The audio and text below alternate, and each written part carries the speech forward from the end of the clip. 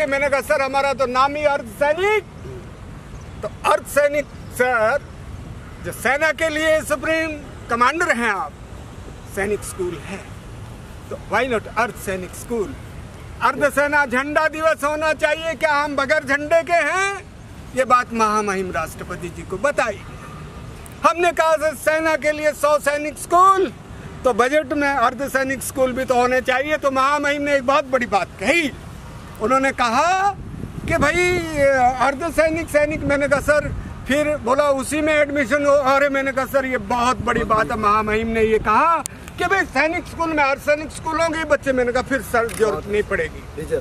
हमने S S का मुद्दा उठाया कि मैंने कहा सर आ, संसद में बयान दिया।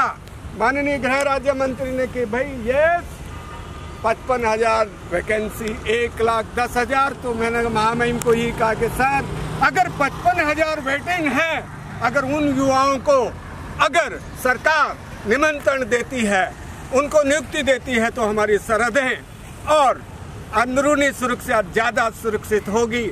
हमने कहा, सर सीपीसी कंटीन पर छूट होना चाहिए, जैसे सेना की सीएसडी पे 50 परसेंट छूट और महामहिम का बड़प्पन कि उन्होंने क्लियर कहा कि यस हम आपकी बातों को बहुत गहराई से ले रहे हैं और ज़रूर इसमें जो भी होगा मदद की जाएगी।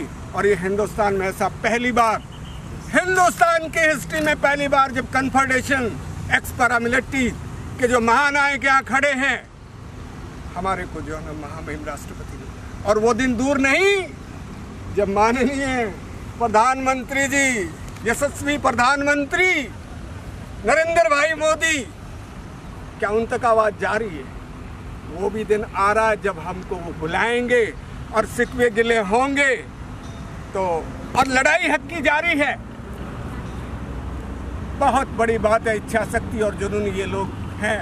और हम जो है उत्तराखंड को और जे की टीम को भी इसमें दस मेंबर होने थे साहब। कोविड की वजह से कम हो गए, नहीं तो हम केरला से लेके और जितने हमारे जो मेन मेन हैं उनको भी बुलाते तो सैल्यूट और सलाम विजय चौक से रायसीना हिल मेरे ठीक पीछे और संसद जिसको हमने सीआरपीएफ ने बचाया था, ये बात महामहिम को बताई गई कि सर, संसद को तो हमने बचाया, फिर हमसे क्या भूल हुई कि जवानों की पेंशन बढ़ so we are looking forward और जो है कर्म किए जा, फल की आस मत कर। जय हिंद, जय पैरामिलिट्री पैरवे सावधान रहने की ज़रूरत, सूर्य ढलने को। Thank you so much